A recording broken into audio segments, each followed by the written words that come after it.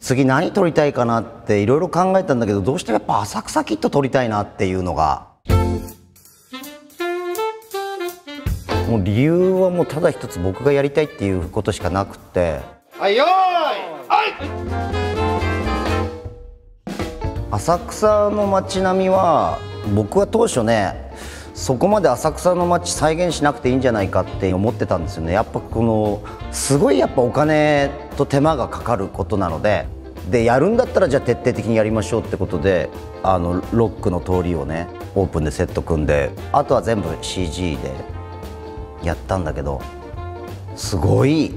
クオリティの浅草ができましたね。うん。びっくりしました。あのなんか最初の影かかっこいいじゃないですか、あれをやりたいですら失敗しないでください。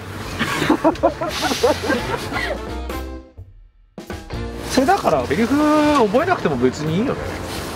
ね昨日の夜何かあったんですかなんで一晩開けたらそんな？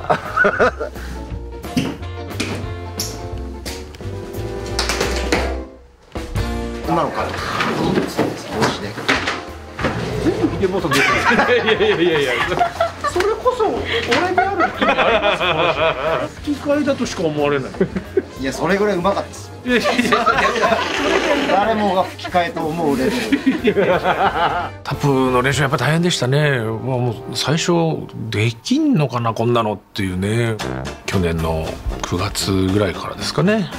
練習に入って。ただなんかやっていくとなんかとっても楽しくて。たけしさんのタップダンスの映像とか見ると独特な雰囲気のかっこよさがあって現場入る前に34ヶ月ですかなんか週23でこう習って本当難しくって。リハとかはマスクしてだから相当やっぱそういう意味ではしんどかったんじゃないですかね。ちゃんと大変っていうのはフィールした。あとまあ漫才っていうのも今まで挑戦したことなかったのでまずその漫才のテンポ2ビートのテンポの速さの練習だったりその北野武さんの話し方特徴をあの松村さんに教えていただいたりとかなんかもうほんと一つ一つ勉強して練習していってその自分の怖さを消していくっていうことの毎日で、ですけどもねちょっとそこのおばあちゃん漫才やってる間に死なないように何を言ってんだお前お笑い界でやっぱ神様みたいな人ですからその神様の映画を僕が撮っちゃったわけですからね僕はすっごく好きなねあの浅草のあの人たちのあの生き方あの美学それが一般の人にどれぐらい響くのかとかっていうのは、うん、まあやっぱ怖さはありますけどね、うん、でももう作ったもん勝ちですからこんなのははい。